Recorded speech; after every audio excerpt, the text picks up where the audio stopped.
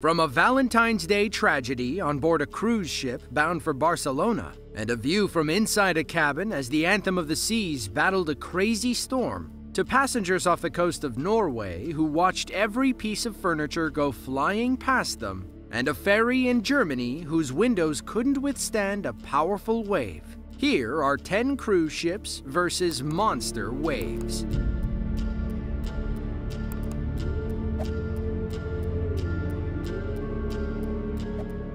On Valentine's Day of 2005, the Voyager cruise ship was on its way from Tunis in North Africa to Barcelona, Spain. They were carrying 776 people between passengers and crew. Around 8 in the morning, the vessel began drifting through some choppy waters.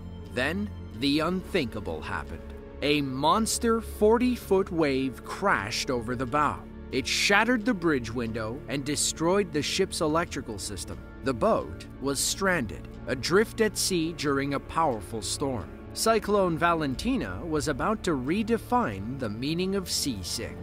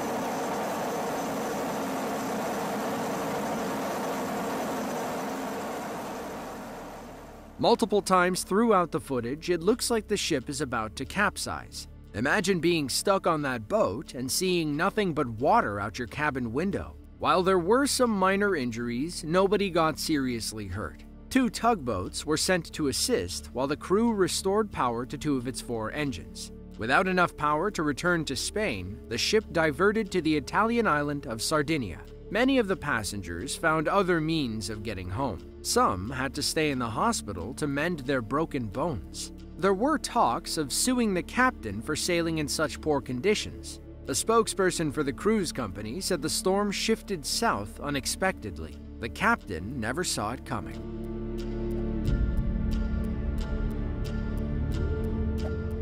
The MV Viking Sky is a $400 million cruise liner operated by Viking Ocean Cruise, a company based in Basel, Switzerland. It was officially launched in 2016 and began serving customers a year later. On March 23rd of 2019, everyone on board got an authentic Viking experience, whether they wanted one or not.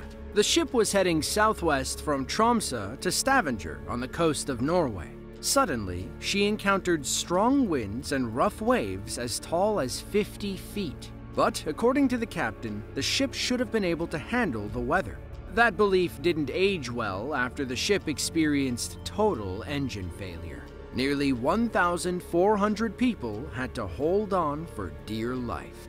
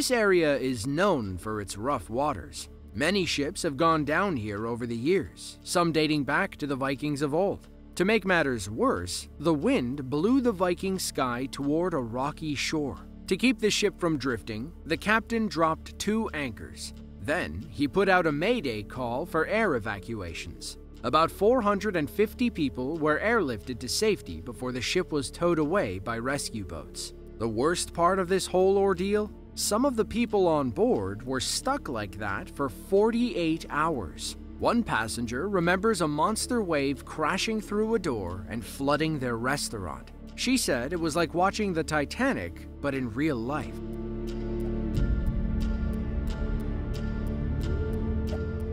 Now, we've seen rough waves from the main deck and inside the cabins, but what does the captain see? What is going on through this person's head as they're watching monstrous 40 foot waves coming right toward them? Some of the best footage comes from the bridge of a vessel in the North Sea. Waves like this can quickly ruin anyone's day. This captain is pretty used to it.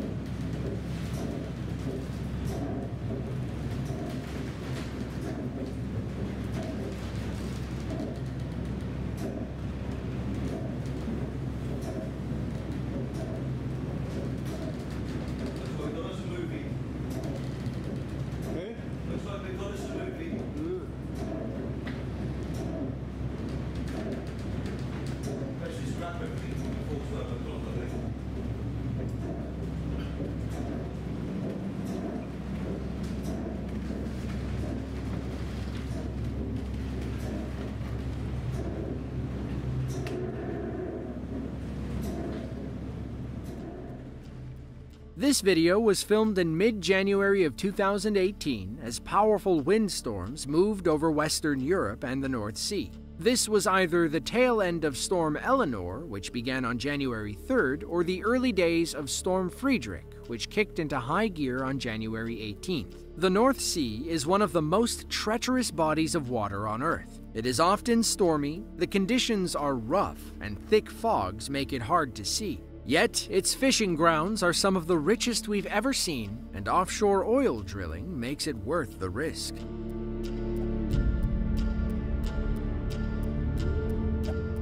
Cruise ships are built to withstand 50 foot waves and 80 mile per hour winds. They also have large water filled ballast tanks underneath to help stabilize the ship. They can list about 60 degrees before they're at risk of capsizing. They're made of heavy steel. That, plus the weight of the passengers, crew, cargo, and amenities, allows the ship to roll without capsizing. It can happen, but it's extremely rare. The windows are made of reinforced glass, built to withstand crashing waves and immense water pressure. This video from Australia shows how much punishment a ship can take.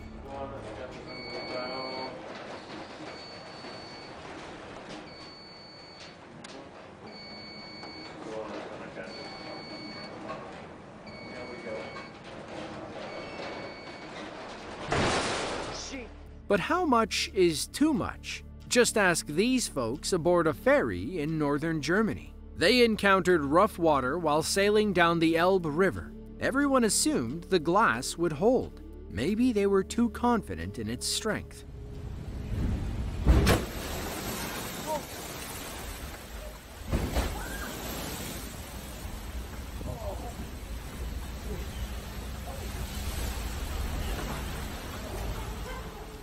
There's a moment when the guy in the red jacket can't believe what's happening. He sat momentarily and then bounced when more waves hit the broken window. According to reports, Storm Elenia brought heavy rain, rough waters, and whipping winds to the area near Hamburg, Germany. After this incident, all trains, flights, and ferries were cancelled until the storm passed.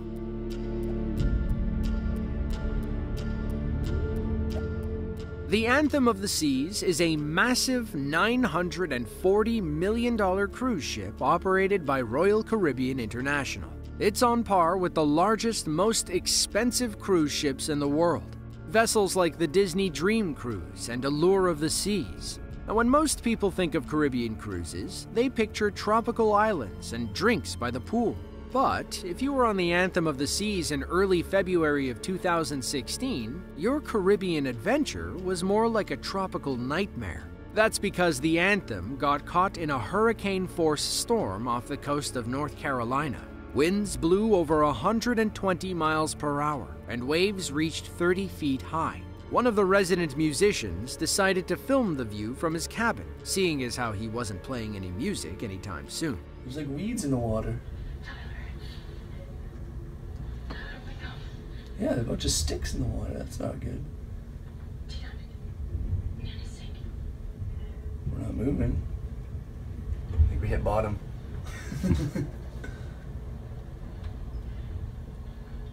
like, look it. No, Oh, wait it. for it.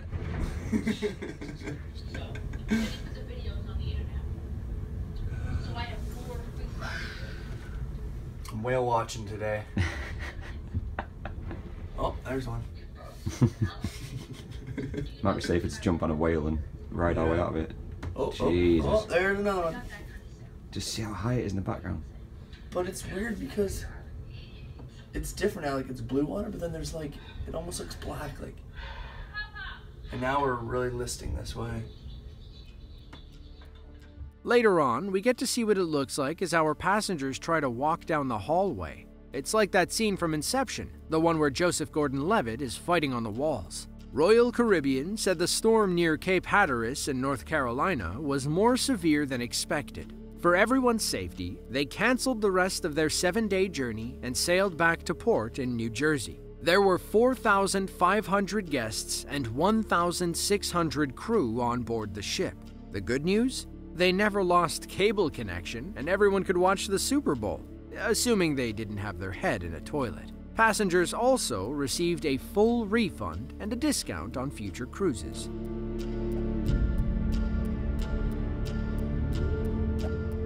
The Viking Sky incident went from 0 to 100 very quickly. As the story goes, it was shortly after 12 noon when the engine suffered a loss in oil pressure. An alarm should have gone off, alerting the crew about low lubricant in the engines. But no such alarm ever sounded. A cruise ship's engines can only last so long without lubrication. After a few minutes, they can suffer severe damage. That's why things didn't seem that bad at first. To the naked eye, it looked like the ship was handling the rough water.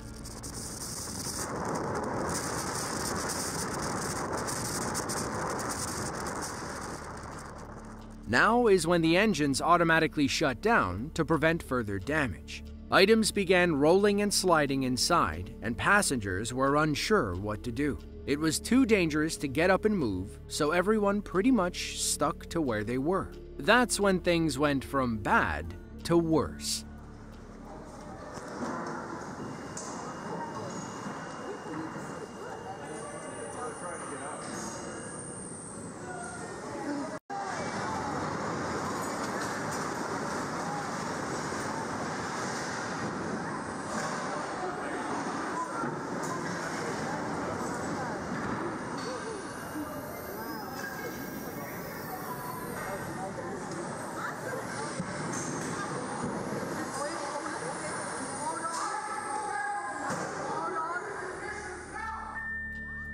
According to a crew member who wished to remain anonymous, the engines began failing late Friday night when the ship first encountered the storm. When the emergency alarms sounded on Saturday morning, the ship was listing so badly that people could hardly stand up. He said they had to form human chains to hand out life vests. Many crew members didn't sleep for 48 hours as they tried to keep guests safe and calm.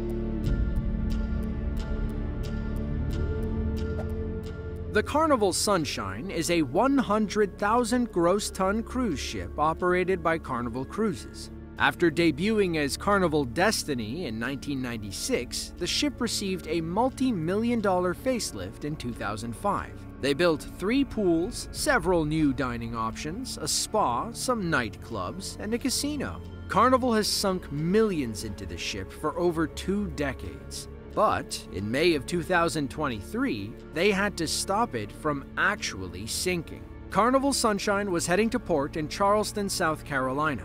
They were returning from a multi day trip to the Bahamas, and our passengers were excited to get home. Unfortunately, there was a storm brewing up ahead. Instead of waiting an extra day or sailing around the storm, Carnival Sunshine decided to go through it. The National Hurricane Center warned of a non tropical area of low pressure that was moving northward toward the Carolinas. There would be gusty winds, dangerous surf, and strong rip current conditions. All of that culminated in the worst cruise ship experience of all time. One passenger called it 11 hours of straight hell. The captain came over the intercom and said they'd do everything to minimize discomfort during the storm. That's corporate jargon for sorry, this is about to get really bad and there's nothing we can do about it. Lightning surrounded the ship.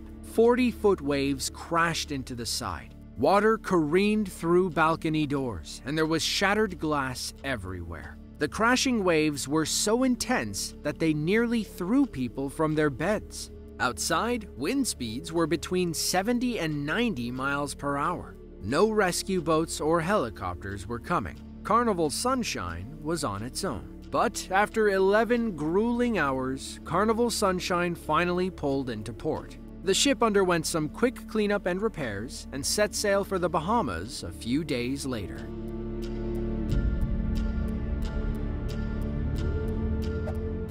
There was a time when the Explorer of the Seas was Australia's biggest cruise ship. The 138,000 gross ton ship came equipped with world class dining, rock climbing, a surf simulator, and an entire mini golf course. It could accommodate up to 3,000 passengers plus the crew. Today, it's outsized by bigger and better ships, like Ovation of the Seas. But if you were on board Explorer in mid December of 2016, chances are you weren't having a good time. That's because 182 passengers contracted a gastrointestinal disease, leading to some not so luxurious bathroom trips. Things got worse when Explorer encountered a freak storm and crosswinds of 150 knots.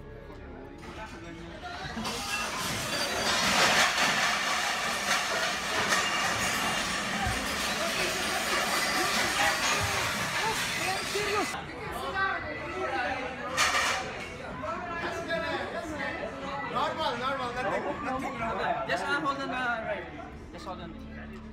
It sounded like every single plate in that restaurant broke simultaneously. The vessel was returning to Sydney from New Zealand when everything happened. Thankfully, everyone got over their stomach bug and seasickness.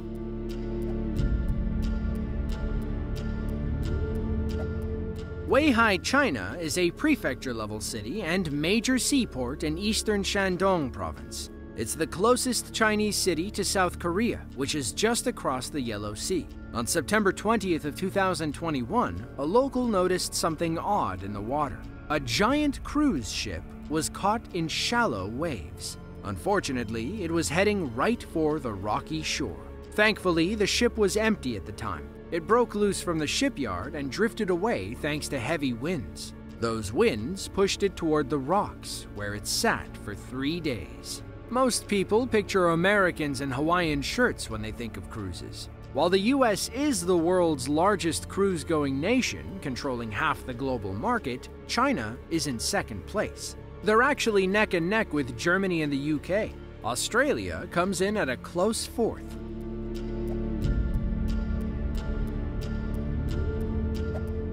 The MS Epsilon is a 600 foot passenger ferry operated by Irish Ferries. The ship entered the fleet in 2013 to run passengers between Dublin, Ireland and Holyhead, Wales. It'll make that run twice daily, Tuesday to Saturday. It'll also ferry folks between Dublin and the city of Cherbourg in northern France. On February 11th of 2016, the MS Epsilon was heading back to Dublin from France when she crossed paths with Storm Imogen. The ship endured rough seas and winds whipping as fast as 60 knots, some getting as fast as 105 knots. One passenger said it was the worst ever crossing from France to Ireland. You're about to see why.